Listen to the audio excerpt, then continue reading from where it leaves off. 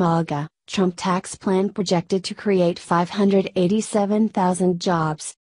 President Donald Trump's corporate tax cut could create 587,000 new full time equivalent jobs and lift wages by 2.5%, according to a report from an influential tax policy group.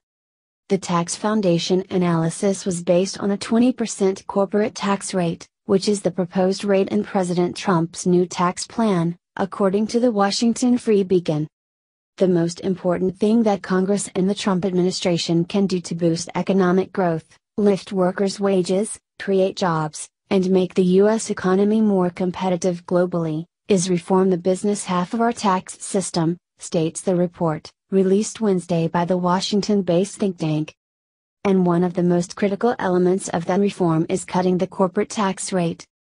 The Tax Foundation's extensive economic research and tax modeling experience suggests that cutting the corporate tax rate to a globally competitive 20% would substantially lower the cost of capital, which, in turn, would boost capital investment, leading to higher wages and more jobs, it continues. Our research also shows that these economic benefits would be enhanced if lawmakers coupled a corporate rate cut with an allowance for full expensing of capital investments. In the analysis, the Tax Foundation sought to simulate the long term economic effects of these policies separately and combined to give tax writers an idea of how the policies work together. By looking solely at the tax cut, the report stated, we can see that cutting the corporate tax rate to 20% would boost the long term level of GDP by 3% and increase the capital stock by more than 8%.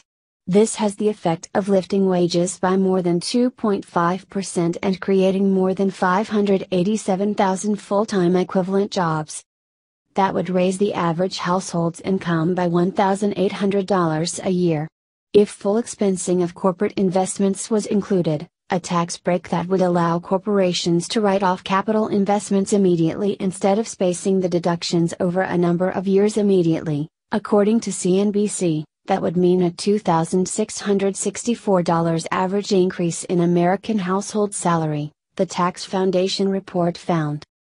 However, while House Republicans are for the measure, support is uncertain among Senate GOP members.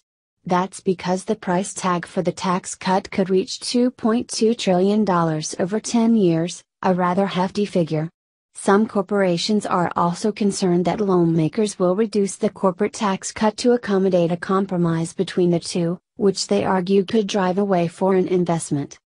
According to The Hill, the Trump administration's tax framework supports full expensing, but that may go by the wayside, given the administration's recent troubles getting important legislation through the Senate. Either way, the Tax Foundation is pretty certain any sort of corporate tax cut is going to create jobs, which would be great news for the Trump administration. Now, the problem rests in getting it through Congress. Congress.